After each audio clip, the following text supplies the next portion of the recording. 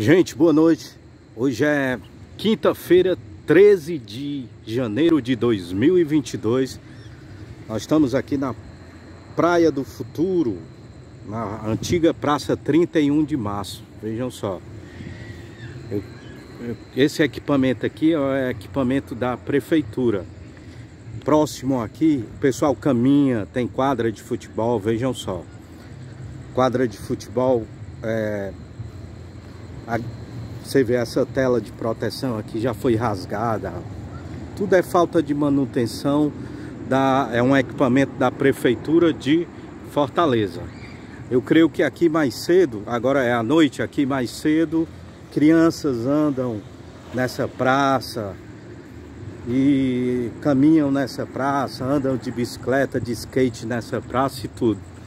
Aí você vem caminhar aqui, aí você se depara com isso aqui. Vejam só. Isso é energia elétrica, viu, gente? Isso é um quadro aqui de luz, vejam só. Totalmente abandonado. O quadro está enferrujado, vejam só. Nós estamos em época de chuva aqui.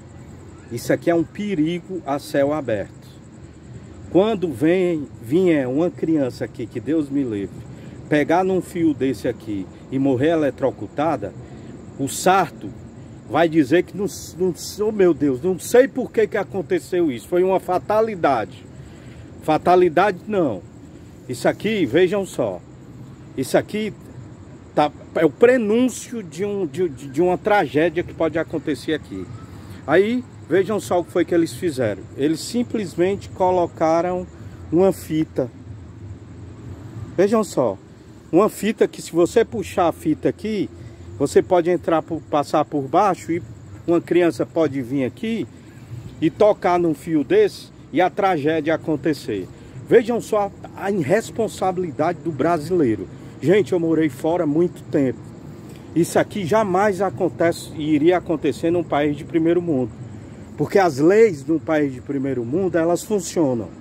Se uma criança morrer no equipamento da prefeitura, o prefeito ia preso num país de primeiro mundo o prefeito vai preso.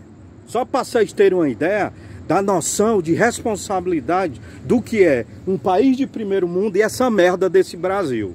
E esse cu desse Ceará e esse, município Fortaleza. Então vejam só, é um desabafo, porque eu acredito que o Sarto Nogueira e o pessoal da regional, da secretaria, não tem filho não.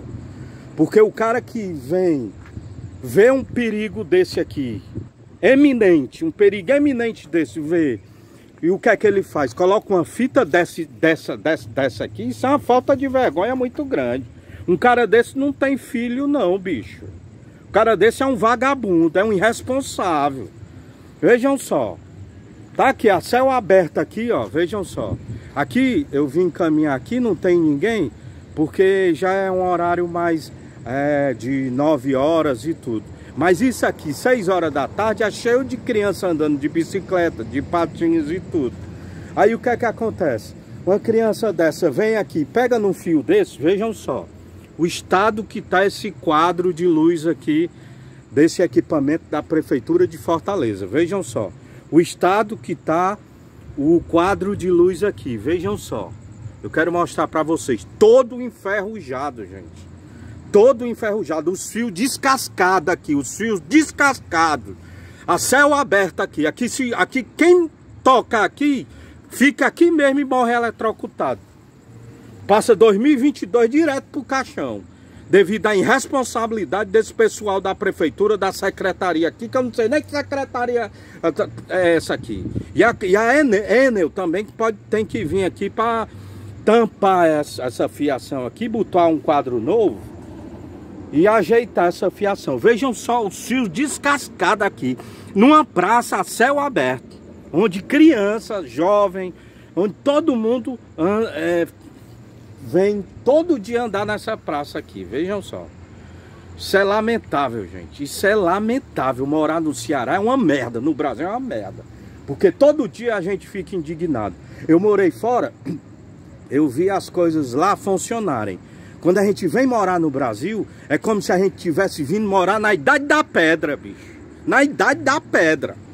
Os calçamentos, as ruas esburacadas, é, alguns bairros da periferia sem saneamento básico em pleno 2021.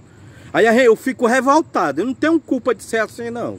Mas eu fico puto da vida quando eu venho, passo e vejo um, um equipamento da Prefeitura de Fortaleza da, matando uma pessoa, porque isso aqui vai matar alguém. Então a denúncia está feita aí. Valeu, gente.